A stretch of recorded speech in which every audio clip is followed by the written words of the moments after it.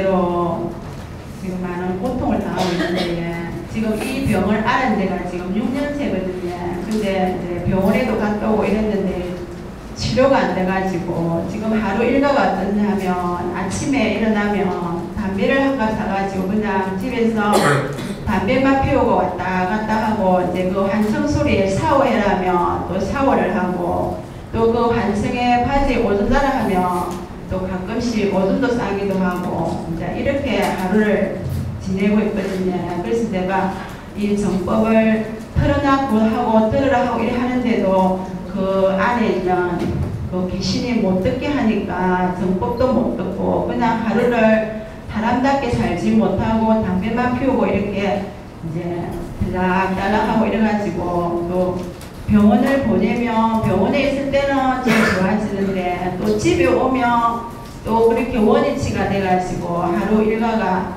또 그렇게 지내고 있거든요. 제가 어떻게 대해야 되는지 애 문제를 풀어나가야 되는지 제가 지금 답을 좀 구하고 싶습니다. 내가 질문 하나 할게요. 네. 애가 그러니까 누가 답답해요? 제가 나가다 우리 아이들이 뭔가 어려워한다라는 것은 내 부모를 가슴을 찢어 놓으려고 하는 겁니다. 왜? 부모가 지금 바르게 안 살고 있다. 요걸 알게 주는 겁니다.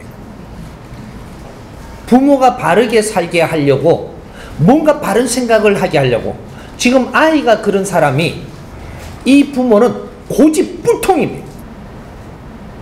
이건 100%입니다. 아니다라고 본인이 하고 싶겠지만 그거는 본인 생각이고 집안에 지금 이런 아이가 있다. 이, 이것은 부모가 고집불통 가족들도 역시 그런 기운이 너무 크다. 그래서 그거 때리 잡으려고 하는 거. 듣기 싫어도 들을 건 바르게 들어야 돼. 내한테 물었으니까 가르쳐 주는 겁니다. 누구를 뭐로 하려 하는 게 아니고. 어. 근데 이 아이를 병원에 데려다 놓으니까 그만 개하나요. 병원 사람들을 내가 그렇게 아주 가슴을 찢어 놓을 필요가 있냐? 없는 것.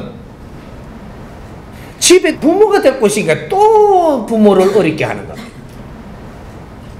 상대를 알고 있다라는 거죠. 내가 부모 앞에서만 그러고 있습니다. 야가 바깥에 갖다 놓으면 또 여기에 조심하고 있어요. 무엇을 이야기할까요? 우리는 이 답을 풀어야 됩니다. 왜 아이를 멀쩡하게 어렵게 해놓을까요? 신께서 오케이 부모 공부하고 너 자신을 지금 열심히 다스리고 공부 열심히 하라고 네가 열심히 안 하면 자식 안 풀어줍니다 아 이것은 자식하고 엮여 있을 수밖에 없는 근기. 그 자체를 만들어 놓고 이 일이 벌어지는 거예요. 만일에 부모님이 어디 갔다. 자식을 내버리고 갈 수 있다. 가십시오. 가면 당신은 이 어려운 걸 당하지 않아도 됩니다. 하나 이렇게 못 가게끔 근기도 묶어 놓고 지금 이 작업이 벌어지는 거예요. 못 갑니다 그래서 네가 이걸 다 겪어야 거예요 자식을 낳으려거든 너 자신의 고집을 끊고 사람들한테 말도 바르게 듣고 내가 사회 바르게 사는 길을 택하십시오. 자식 돌아옵니다. 자식이 잘못된 건 자식을 고치려고 들지 말고 이 강의를 자식을 듣게 하려고 그러지 말고 내가 들으면서 눈물 흘릴 일이 있으면 눈물 흘리고 잘못 사는 거 있으면 용서를 빌고 무릎을 꿇을 일 있으면 꿇고 내가 몸부림을 치십시오. 내가 노력을 하고 있으면 하늘이 너를 돕습니다. 이 집안을 돕는다. 그걸 없애는 것은 간단하지만 바르게 이걸 잡지 않고는 이거 안 풀어줍니다. 내 자신을 열심히 공부하십시오.